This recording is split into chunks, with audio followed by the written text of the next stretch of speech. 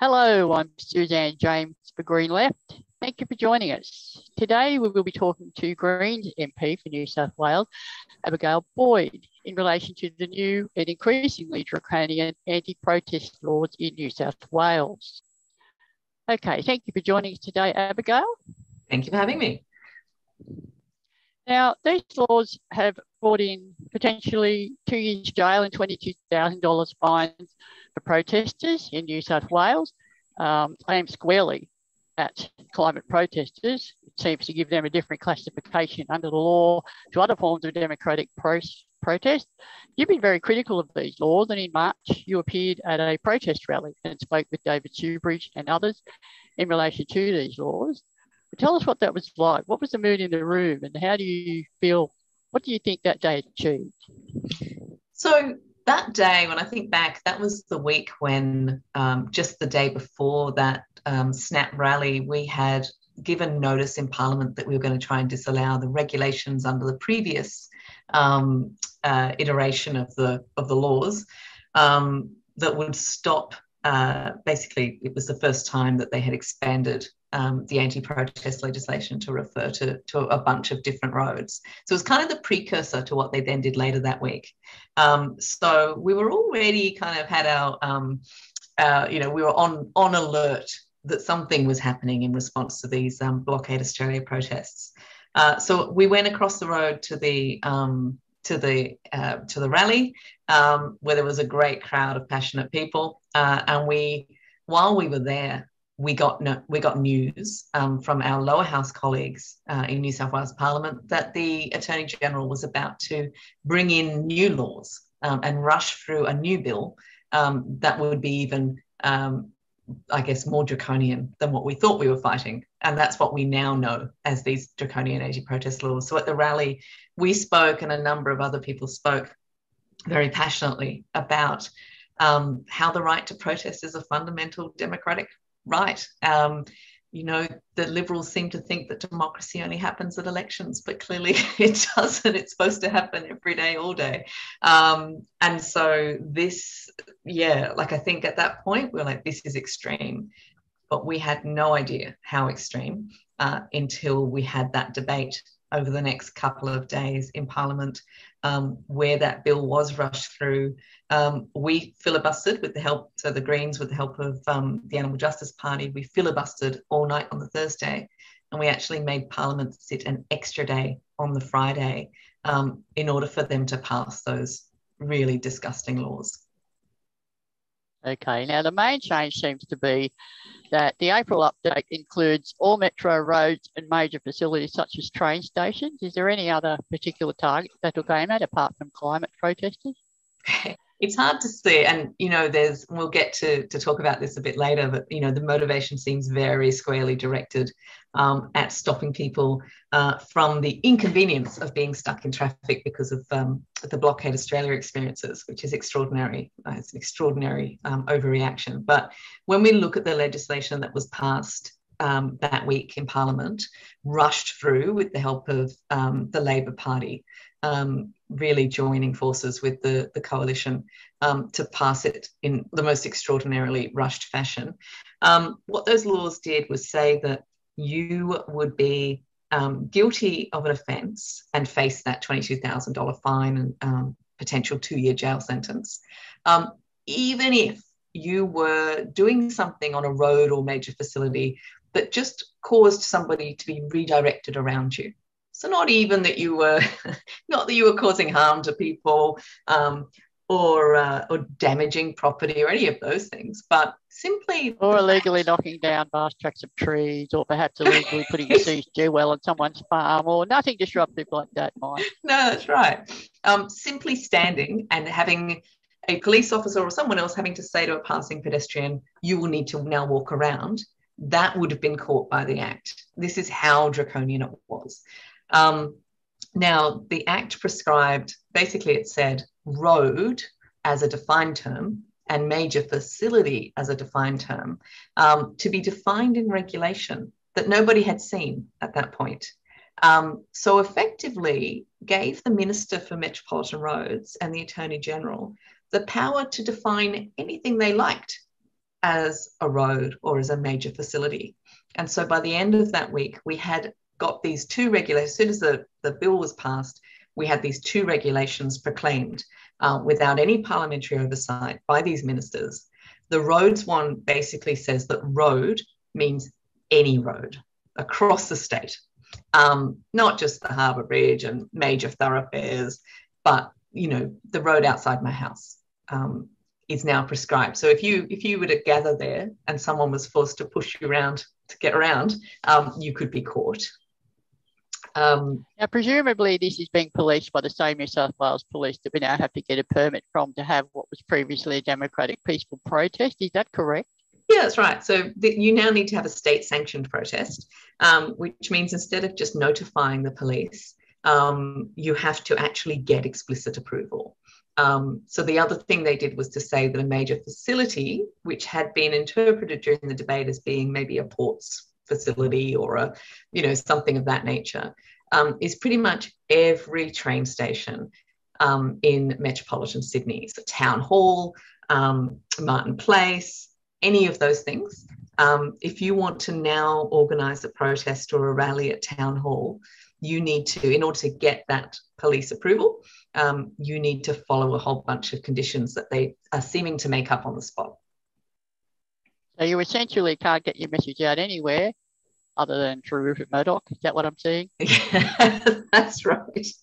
Um, unfortunately, the message that um, that Rupert Murdoch is putting out is that these these protesters are somehow um, violent uh, and um, unprincipled or paid. That's the other one that they love to say, paid protesters. Ah, uh, the old renter crowd. I've heard that number yeah. of times. Yeah. now, last Wednesday, the New South Wales Upper House passed your call for papers. Is that correct? Calling on the government to release all the internal documents regarding the operation and creation of these laws. Is that correct? Tell us about that process. How does it operate? And where does it all go from here? So the process of getting it, so there's a thing called a, an SO52, it's just Standing Order 52, which is where we, we in the upper house as the House of Review um, and not being government um, controlled like the lower house is, we can do this thing that's called a call for papers where we receive, we, we specify what we want to see, and then to the extent that it sits within any minister's or department's office, um, they are legally obliged to give it over to us. Um, now, we are expecting um, a whole bunch of different types of documents. But what I'm hoping to see um, are things like the text messages where the MPs were texting each other saying, I'm stuck in traffic, in traffic, isn't this inconvenient? Um, but also the fact that um, it, you know, it appears that there was no legal advice taken on, um, on these laws, that they were drafted in an awful hurry. Um, we believe that they're not going to stand up to constitutional scrutiny uh, if they go to the High Court. Uh, so I think seeing, being able to to prove that the government um, really rushed these laws through um, in an irresponsible way would be quite useful. Um, so we'll see. We'll see what comes out of those papers.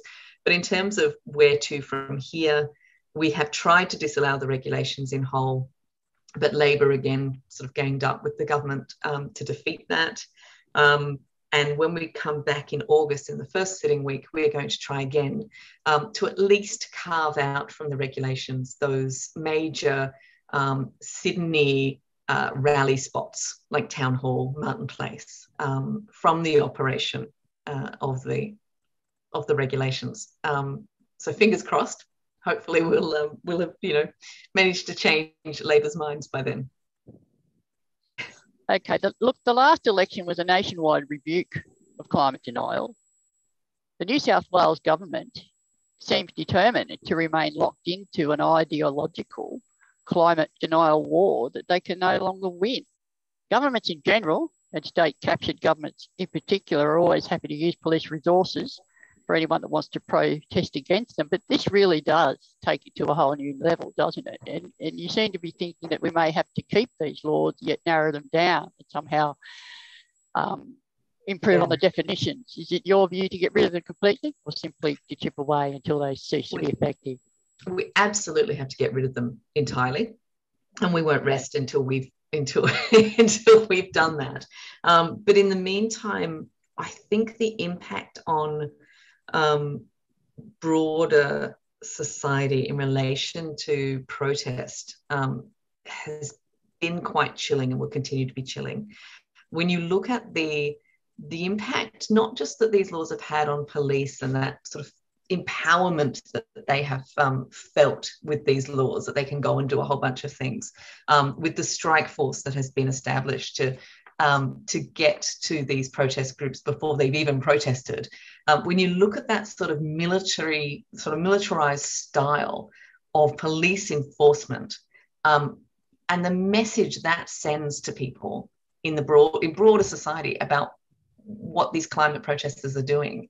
Um, compared to when you look at climate protesters and you know the very very peaceful ways in which they are actually protesting there's this real disconnect but when that's then put into the media, and when politicians use words like terrorists and um, you know climate criminals and cl- those kind of rubbish sort of statements about these protesters, um, I worry that that's the kind of thing that then leads people to, for example, drive their car into a group of protesters, to think that's okay, to exercise violence themselves um, against people who are going about their business. So I think the cultural effect of that real sort of um, militarized uh, quashing of dissent um, is just terrifying. I think that's that's something that we all need to be fighting back against. Given what everything in New South Wales is wrestling with a lot of these cultural issues right now, they seem to be a rogue state in a sense. They're a bit like Texas. They're determined to legislate us back into the 18th century, no matter how much the general public and large numbers of people protest against it. How long do you think this is going to last? How much longer can they really hold out? Bearing in mind that Perrottet's got an election coming up in March mm. next year, he must be bleeding by now, surely. Well, this is, and again, this comes back to your previous question about what did they learn from the federal election? You know, did they learn that climate was actually um, something that people prioritize in their vote? Um, they should have learned that. But not only have the government in New South Wales not learned that, I don't think Labor have learnt that.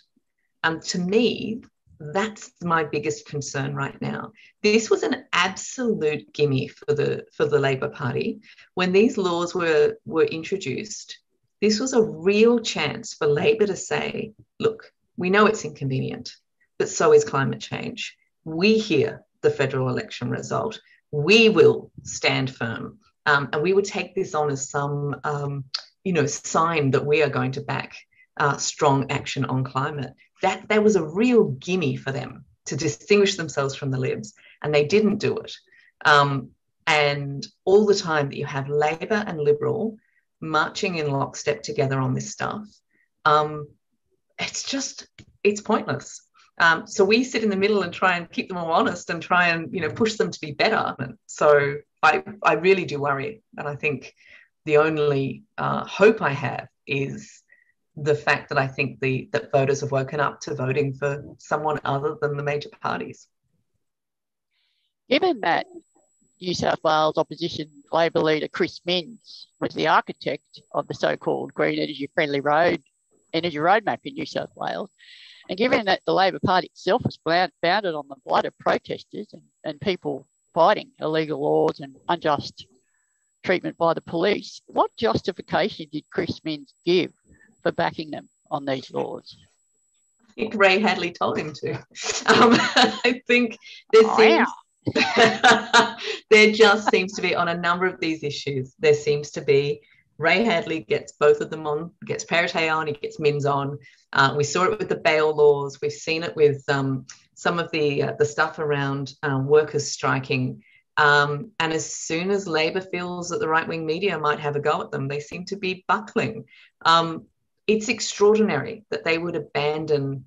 I mean, two weeks ago, they, they voted against um, a bill that would have lifted the wages cap. This is Labor. Um, yeah, I don't crazy. know if they've been in the kind of in opposition for so long that they've they're so scared to have a you know any kind of policy. But this is we need them to actually support workers and support climate and support protest. Like it's just I don't know what's happened with them. Um, and I I'm sick of saying I'm disappointed. I want them to be better. Now, mm. just before we finish, I'd like to ask you about how people can help this campaign. What the average citizen in New South Wales who's struggling to pay the mortgage, get to work, pay the tolls, run the gauntlet of public transport in lousy weather, what can they do to help stop us backsliding into a police state? What can we do to help you get these laws rescinded? So, I guess a couple of things. Firstly, um, if you go to my website, abigailboyd.org, you'll see we've got a campaign um, where you can click a, a, link and it goes through um, to email the, the major parties in New South Wales to, to urge them to um, rewind these laws and to reverse these laws. Um, but also go and talk to your neighbours, talk to, you know, there's all of this right wing nonsense um, that's permeating through the media at the moment about what these climate activists are doing. Um, talk to the talk to other people, let them know how fundamental the right to protest is and how our democratic rights are under threat in New South Wales. Um, talk to your Labor MP if you've got a local Labor MP and uh, demand that they do better. Um, these are the things that you can be doing. Um, but if you're time poor, which so many of us are, um, the first thing to do is to go to that to my website and um, click on that ready-made email for you. Um, it gives me great pleasure when the uh, the other parties come and tell me that they're getting, you know, hundreds of emails on these issues. Can I stop, please? I said, no, I can't.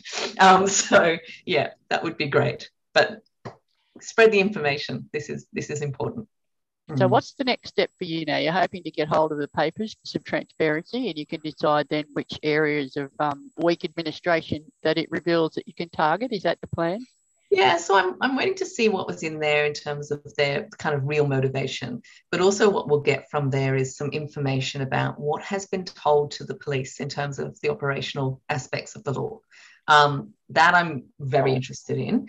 Um, then we'll be moving to disallow those um, sort of you know usual protest spots in Sydney, hoping to at least get that through um, in August. Um, but also there will be a High Court case, um, so we know that that's something that's going to happen. we've been working with a number of public interest lawyers on that aspect of things. I would expect from my rudimentary knowledge of constitutional law that this is not a a valid um, this this law is not valid constitutionally because it does exclude certain types of protest. Um, but I think yeah, I think it'll be very interesting, and if it gets struck down by the High Court, um, that would be fantastic, and then we can uh, yeah, we won't have the laws anymore. So. And it is going to get awkward for Chris Minns. yes, yeah, exactly. That was New South Wales Greens MP Abigail Boyd updating us on the New South Wales anti protest laws, which they're hoping to have struck down with further action in New South Wales Parliament in August. This is Suzanne James for Green Left. Thank you for joining us.